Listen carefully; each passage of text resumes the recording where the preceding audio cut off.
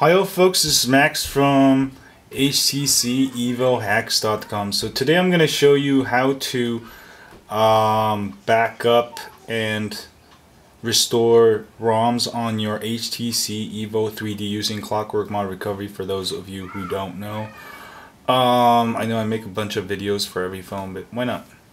So first you'll have to have a permanent rooted HTC Evo 3D. I have instructions on my blog at htcevohacks.com and uh, you'll probably want to take the battery out because um, you can't get into the bootloader without it.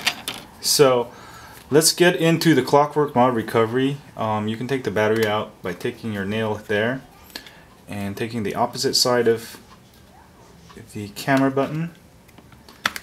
Oops. And then the camera side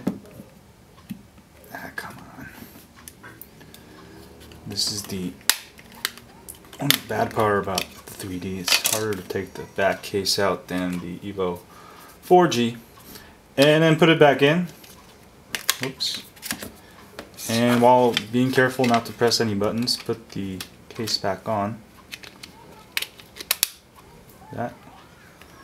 And then we're going to hold down the volume down button and then hold down the power button together until we see bootloader.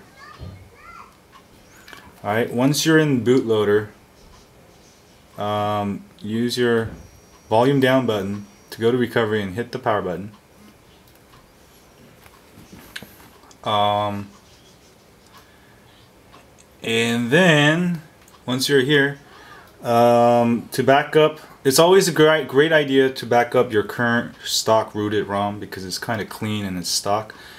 Um, so go to backup and restore hit the power button, hit back up, hit the power button, and then it's gonna start backing up all your apps, all your settings, all your contacts. Um, it's not gonna back up the contents of your SD card, otherwise it's gonna be a big file.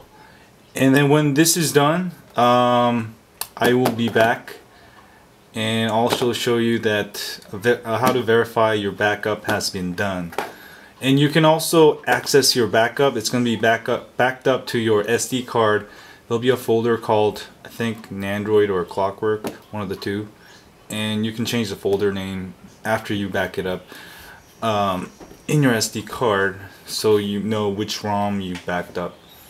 So our next video, well, we'll save that for later. I'll be back when this is done. Hi all folks, so it's done. Um, if it says backup complete, um, no errors, you're fine.